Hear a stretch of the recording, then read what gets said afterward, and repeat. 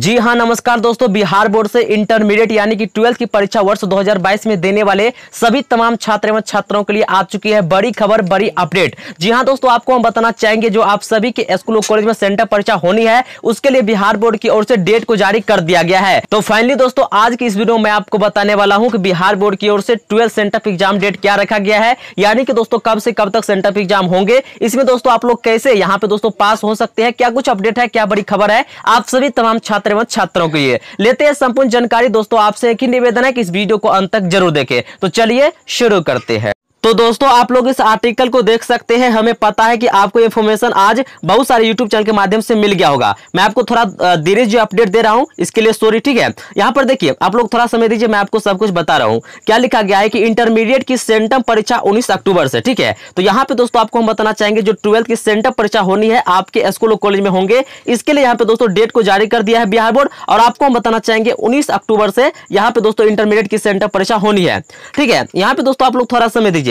लिखा गया है कि इंटरमीडिएट सेंटर परीक्षा 2022 की तिथि तय कर दी गई है। परीक्षा आपको बता दें, यहाँ पे दोस्तों देख सकते हैं कि 19 अक्टूबर से शुरू होगी। इसकी जानकारी बिहार बोर्ड द्वारा सभी जिला शिक्षा पदाधिकारियों को भेजी गई है। और इसके अलावा यहाँ पे दोस्तों आप लोग देख सकते हैं कि 2022 की इंटर बोर्ड परीक्षा के लिए यहाँ पे दोस्तों नियमित, स्वतंत्र और क्वालिफाइंग कोटि के विद्यार्थियों को सेंटर की, यहाँ पे दोस्तों सैद्धांतिक और प्रायोगिक विषयों की परीक्षा में शामिल होना होगा। यानी कि दोस्तों आपको जो थ्योरी का पेपर होगा और प्रैक्टिकल का एग्ज़ाम होगा, वो दोस्तों आपको जो है एग्ज़ाम देना है। ठीक है, यहाँ पे वही बताया गया है। और इसके अलावा दोस्तों लिखा गया है कि बोर्ड द्वारा अक्टूबर के दूसरे सप्ताह में प्रश्न को भेजा जाएगा। ये तो मैं दोस्तों आपको पहले भी अपडेट दे दिया था कि इस वर्ष बिहार बोर्ड की ओर से प्रश्न को भेजे जाएँगे, ठीक है? और दोस्तों देखिए, बहुत सारे दोस्तों के ये जो कमेंट आ रहा था कि इस बार कितना ऑब्जेक्टिव रहेंगे सब्जेक्टिव रहेंगे तो दोस्तों सेंटर परीक्षा में ये सारी, सही बात आपको पता चल जाएँगे, क्योंकि सेंटर परीक्षा में जो क्वेश्चन जो पैटर्न क्वेश्चन का जो लेवल रहेगा पैटर्न रहेगा, वही पैटर्न वही लेवल के अनुसार आपके बोर्ड परीक्षा दो में परीक्षा होंगे, ठीक है? और यहाँ पे दोस्तों आगे लिखा गया है कि शेड्यूल जल्द जारी होगा, उधर आपको बता दें कि उन्नीस अक्टूबर से सेंटर परीक्षा का शुरू होना तय हुआ है।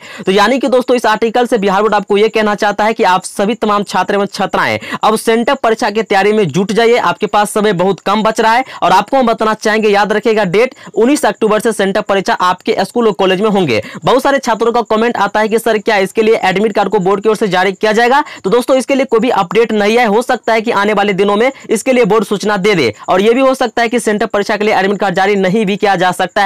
ऐसा अभी तक किसी भी वर्ष नहीं हुआ है, ठीक है? तो दोस्तों, ट्वेल्थ वाले सभी तमाम छात्र एवं छात्राओं के लिए उन्नीस अक्टूबर से सेंटर परीक्षा की जो है, एग्ज़ाम यहाँ पे शुरू हो जाएँगे और आपको हम बताना चाहेंगे, ये परीक्षा आपके स्कूल और कॉलेज में ही होंगे, जहाँ भी आपका एडमिशन है। और इसके अलावा आपको हम बताना चाहेंगे, सेंटर परीक्षा के लिए कल से आपका अपने इस प्यारा सा यूट्यूब चैनल पर रेगुलर तरह से वीडियो मिलेंगे, एकदम ज़बरदस्त तरीके से आपको तैयारी करवाए जाएँगे, आपको सेंटर परीक्षा का बिल्कुल भी टेंशन लेने की ज़रूरत नहीं है, ठीक है? चलिए तो दोस्तों, इस वीडियो यही था इन्फॉर्मेशन अगर वीडियो अच्छा लगा तो इस वीडियो को एक प्यारा सा लाइक ज़रूर कर दीजिएगा। आपका एक लाइक ही हमारे मेहनत का फल होता है। और दोस्तों चैनल पर नई बार है तो चैनल को लाल बटन दबाकर सब्सक्राइब कर सकते हैं, साथ में बगल वाली घंटी को दबा कर ऑल पे सिलेक्ट कर सकते हैं, ताकि दोस्तों आपको बिहार बोर्ड की अपडेट आप तक इसी तरह सबसे पहले मिल सके। तो दोस्तों, फिर मिलते हैं एक न्यू तब तक के लिए आप सभी दोस्तों को वीडियो देखने के लिए दिल से बहुत बहुत धन्यवाद।